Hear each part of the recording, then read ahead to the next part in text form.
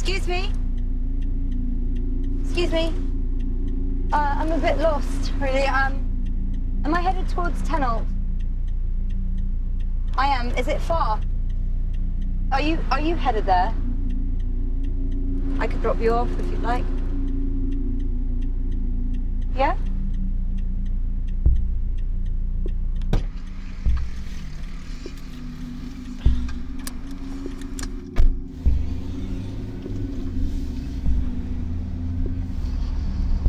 Okay, let me turn this up for you. You're very quiet. So you don't have any friends? What about a girlfriend? When was the last time you had a girlfriend? You get lonely then? You have very nice hands. You have beautiful hands.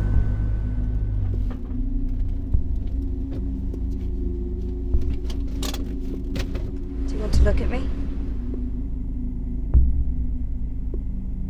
I noticed you looking at me before. I liked it. You never think about it then, being a girl? I have a place about 30 minutes away. Will you come with me there?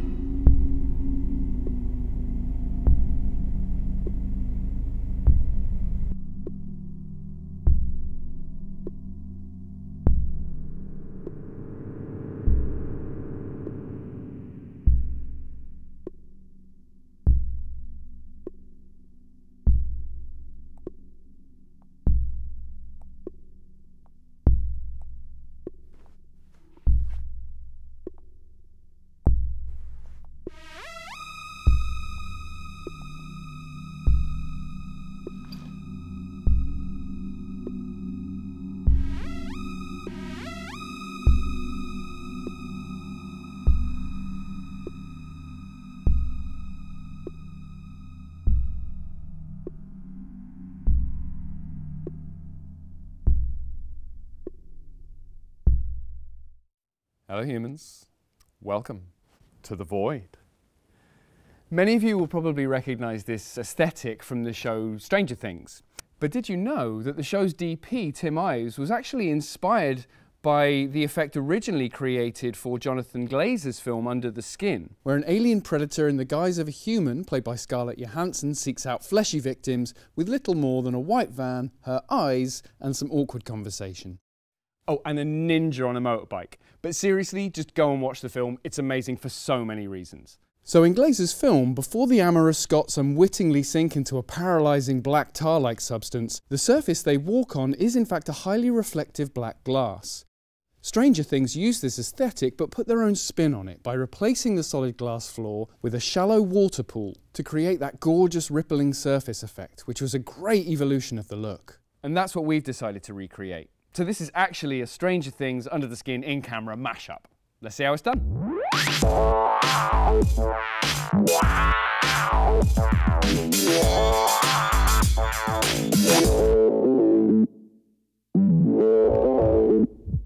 So as you can see, what we've built here is a super shallow pool with blackout drape around it. It's only about an inch deep, which is just enough to give us some nice clean ripples, but shallow enough that Pete can walk through it and still appear to be walking on the surface. We brought in Pat the Builder for this rig. To avoid any chance of leaks, we opted to lay a single 6x7 metre piece of pond liner, which we adhered to the floor with a strong contact adhesive, leaving a border around the edges for the timber perimeter. By fixing the liner to the floor throughout, we eliminate the possibility of air getting underneath and pushing the liner above the water surface. For the perimeter, Pat screws the timbers to the floor and then attaches the liner with gaffer tape. Okay, so we've got our pool built. Now's the moment of truth. This is actually the first time we've done anything with water in the studio, so I'm a little bit terrified, but what could go wrong? Whee! This feels very unusual doing what I'm doing right now. Okay, we'll just lay that down and let it go. I wanted to wait, easy, I wanted to wait until I'd rigged, you know, the kind of drape and the lighting and stuff, but I think this is gonna take a really long time. So under the advice of everyone else, we're going to get started now. Ah, please don't take 10 hours.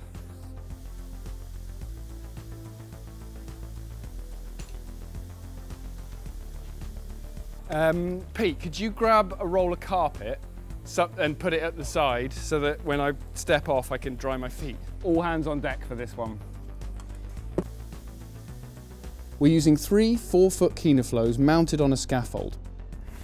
To the bar, ready to go. We be fast. They be slow.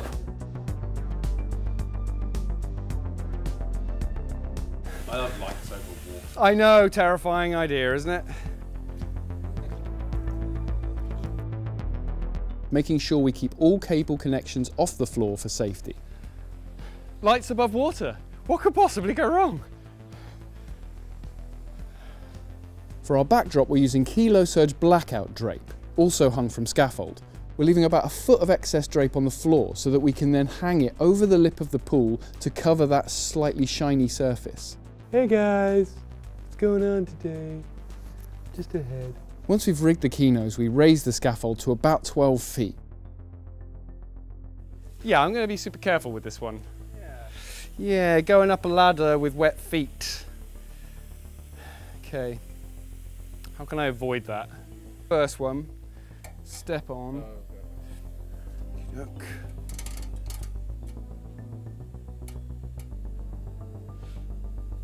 I get up the ladder, drying my feet first, and start adding some safety chains and ropes to make our rig safe. Okay, so that's kind of the toughest part of the rig done. Obviously we've got our three kinos on the scaff pole. These are really light and the, the, the, the scaffolding that we've used uh, is aluminium, so this is really light too. Um, but I've just added this rope to the scaff in the ceiling as a redundancy, as well as the safety chains that we've got here. We're working above water. I mean, I'd always add things if I'm putting anything up at height I put something to stop it from falling if the thing it's connected to doesn't work. But in this case, we're above water, so I kind of, I've got about three separate redundancies working here because, well, it's fairly self-explanatory, really.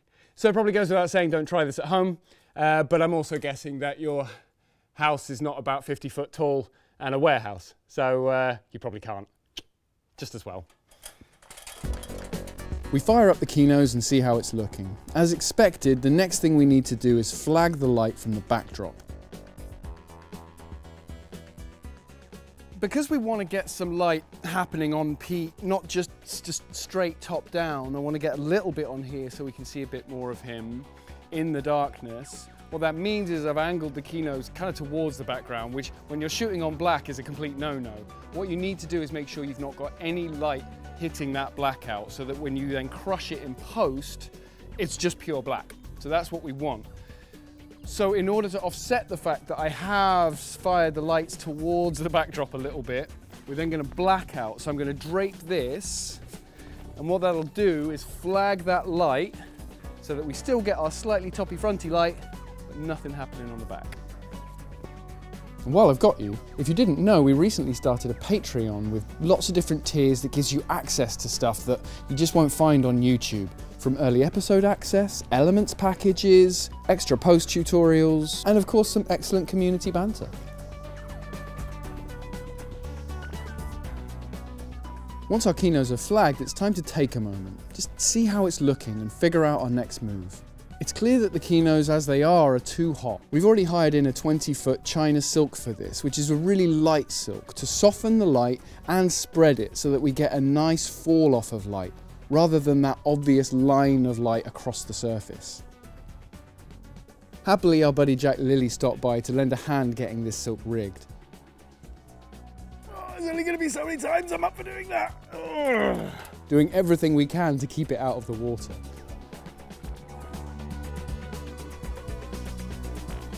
Sure. All good here.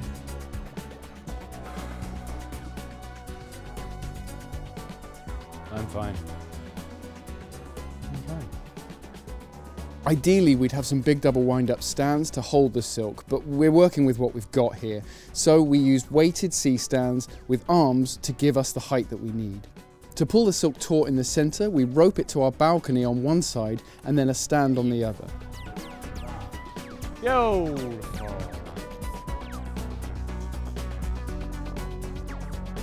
Okay, so walk back. It, the main issue is the, the floor, really, that we're seeing it, we're seeing the variation of it. It's not a perfect floor, you know. The ripples are lovely, um, and that's all working great, but we can just see the floor. Can I see, can I see you in? Yeah, man. Yeah, yeah, yeah. So I can get that. Yeah, yeah. Because I think exposure-wise, it's Oh man, it looks, looks great. No, it does. No, it does look really great. Um, no, I'm super happy. Uh, the only thing I've got an issue with really is that, yeah, and I just don't know if that's something we can. Once the silk was all rigged, we shot a test to check that it was going to work in the grade. So we've got our shot, and it's always it's a bit of a trade-off between lighting the subject that's on the water and not having too much light on the water so that you can sort of start kind of picking up the texture of what's beneath the water. I mean, it's a black floor, but it's, you know, there are ripples where we stuck it down and stuff. One option is to add dye, like uh, food dye, to the water, which will make it super, super black, which will make it all the more reflective and we see no, uh, no detail on the floor. So that's our ideal, but also it's not ideal because then you're working with a lot of dyed water um, and it's you know messy. Um, so we're gonna just bring this into our grading software to see if what we've got is okay, if it'll work. Um, before you sort of start committing stuff and shooting, you kind of need to know that it's going to work in post. So we're doing a quick check first. Their models, all of their, their, their PR photography is just ridiculous. It is a bit. No one looks like that on set. So that black point is now set at the floor. Right.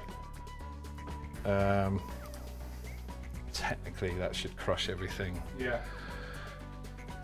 to the same. Yeah, yeah, yeah. Seeing a little bit of that back edge. Yeah, there was, there was. I know exactly that point. That was just a bit where the uh, thing had gotten rubbed up. Yeah, that's definitely within the realms of Yeah. tweakability, and that Wicked. getting enough exposure on him. Yeah, yeah, yeah. Yeah, yeah, for sure. And that's on something that's black, right? Mm-hmm. So. Bloody hell. it works. Like and subscribe! So now that we're happy with it, it's on with the show. Time to shoot my bits and, of course, for Pete to do his thing. Because we're getting shots that we plan to insert into a pre existing film, we regularly check it to make sure our camera height and eye lines match. How's your toes? Nice and cold? The only bit of me that's cool. So yeah, I think um, really shallow steps because essentially they're they're on a track moving with him, which we're not doing. Excitable, uh, etc. oh, Scarlett. Mm, minx. It's beachwear time. Spring bait bitches. We'll get a medium, so like, so we see the, and then we'll get a wide of that as well. Um, and Scarlett will probably just walk off.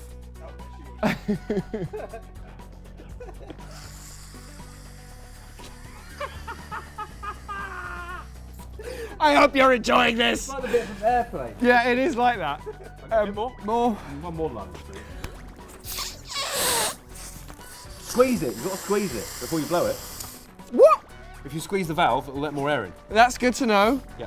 Thanks. really, really hard. There you go. Okay. Oh, yep, no, no. Right, okay, is that enough? Now let's never speak of this again. Right? Get... And then the only challenge that's left is to get the shots and try and keep a straight face. Okay, now give me one with it up, and you kind of like almost giving it a bit of a like, "Eh, where are you going?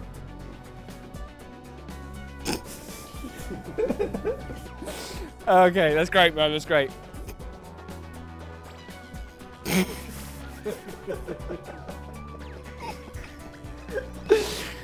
I don't think we need any more than, than that.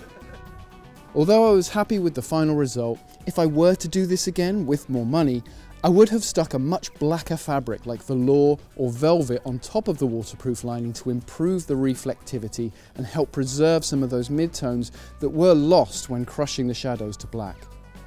Lives and learns. So we hope you enjoyed that. We hope you're enjoying the show. If you're enjoying the channel, don't forget to subscribe, like, share with your friends, enemies, whoever. We're also on Instagram, reluctantly on Facebook and Twitter. Get in touch. Let us know what you want to see.